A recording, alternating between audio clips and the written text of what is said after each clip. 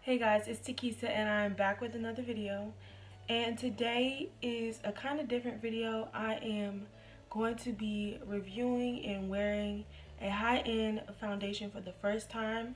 And just, you know, testing it out and seeing how I like it. Um, seeing how it wears. I do want to wear it for a full day and then show you guys how um, it held up, if I got any creasing, if I got super oily, or anything like that. The foundation that I'm going to be trying out today is the Givenchy Teint Contour Couture foundation and I am in the shade Elegant Sienna.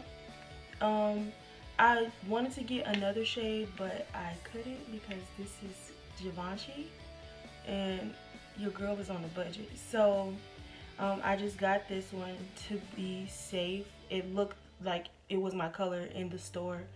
And so, yeah, I, I just, I don't know. If it's not my shade, then hopefully I can take it back and get the correct shade. But for right now, I am Elegant Sienna.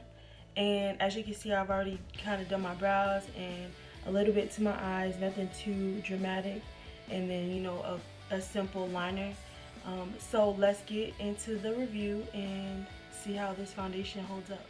So on the packaging it says to shake well. Um, this is the uh, Givenchy Teint Couture, Couture long wearing fluid foundation with sunscreen.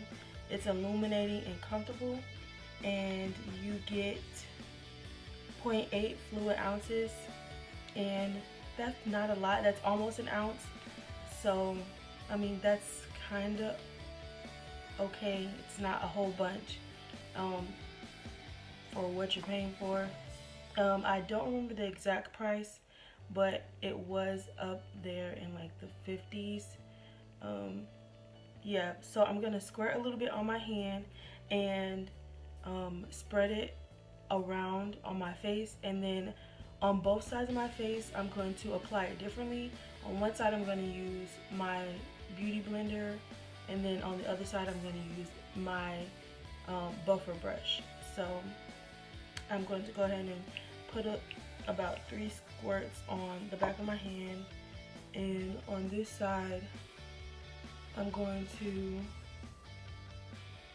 use I think I'm going to use my sponge.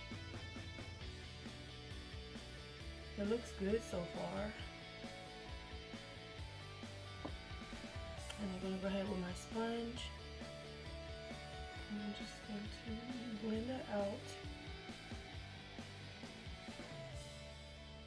It looks good. I would say this is a light to medium coverage. Nothing, I can still see my bare skin. It doesn't look like it on my um, screen, but or it might look it might not look like that to you guys but I can still see like my hyperpigmentation and a little bit of my dark marks um, but it did cover a lot. But um, I, safe to say that uh, Elegant Sienna is my shade. Um, it looks good it matched perfectly and it um, blended out perfect. It didn't dry. I mean it's illuminating foundation so of course it wouldn't dry it'd be dry. And it looks good. That blended out really really nice.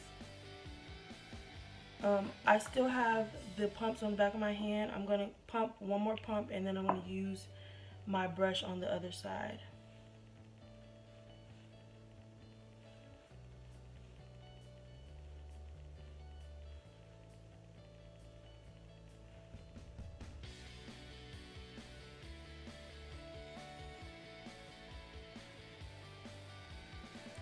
And the brush that I'm going to use is, I don't know. I have a lot of brushes. Okay, I'm going to use this brush. I'm going to use this brush that I got from Walmart. This is a buffer foundation brush.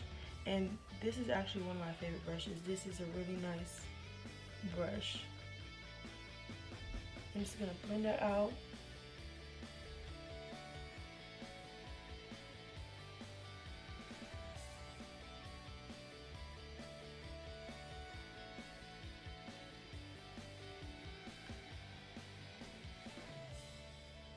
Okay. So it looks like my, all oh, the lighting changed, y'all, sorry. See, I'm gonna use the last little bit over to this side because the brush didn't really look as well as the sponge.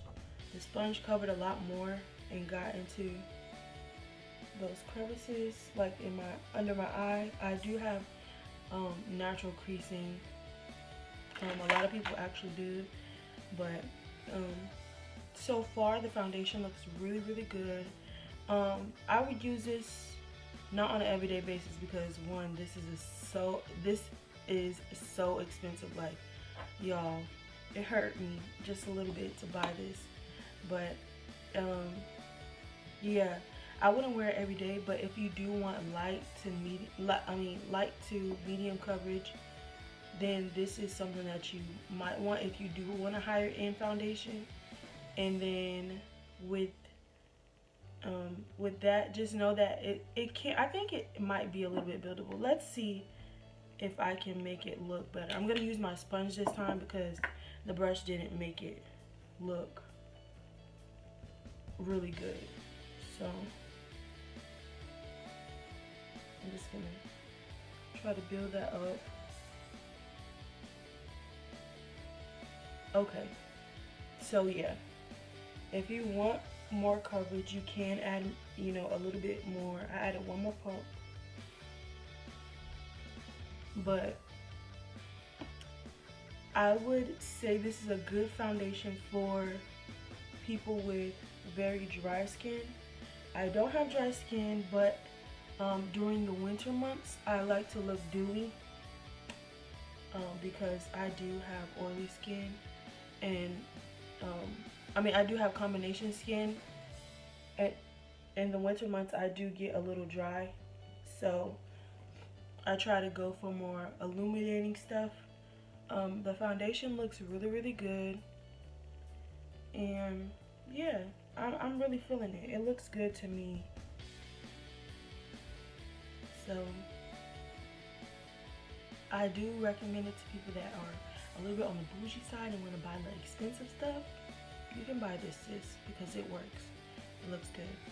Okay guys, so I'm going to have to give this foundation from on a scale from 1 to 10 an 8. Um, I like that it's light and it's not really heavy and it's buildable but um, with someone with hyperpigmentation or something that wants to cover dark marks and circles and stuff like that it doesn't do a lot of that. And um, yeah so I mean the foundation is really good itself but it lost two points for the you know coverage portion of it. Um, this is a very expensive foundation so yeah if I want to buy it again I'm gonna have to save my coins don't forget to like comment and subscribe and I will see you in my next video